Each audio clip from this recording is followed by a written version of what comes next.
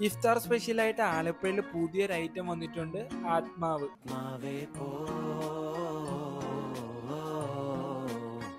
ആത്മാവേ പോ